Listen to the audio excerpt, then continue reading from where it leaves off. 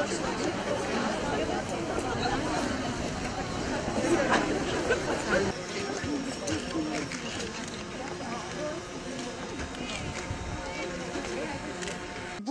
yarın, gelecekte de güçlü Türkiye için her daim, her zaman hayatta var olmaya devam edecektir.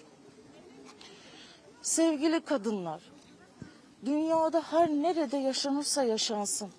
şiddetten uzak, kadınların şiddetten uzak, tüm acılarının ve zorluklarının son bulduğu, aileleriyle, sevdikleriyle birlikte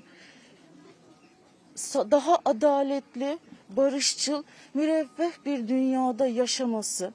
ve bugün burada olduğu gibi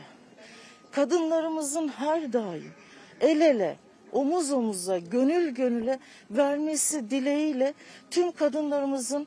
8 Mart Dünya Kadınlar Günü'nü kutluyoruz.